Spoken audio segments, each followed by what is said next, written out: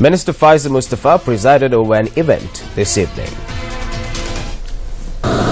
We have lost 30 years in the north and the east. And you all have lost a school for nine years. To set it on track is not easy. Education has to be secular. Religion is our faith, but education is for all.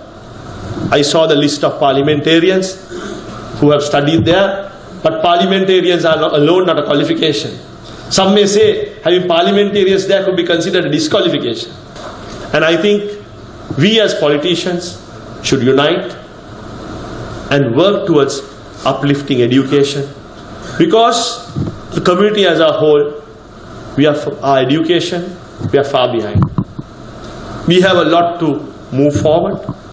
Unfortunate thing is we are divided. We are fighting with each other. There is nothing to fight, no reasons to fight to divide this country. So I think in future all our schools should be an empty school where Muslims, Sinhala, Tamils all are studying together.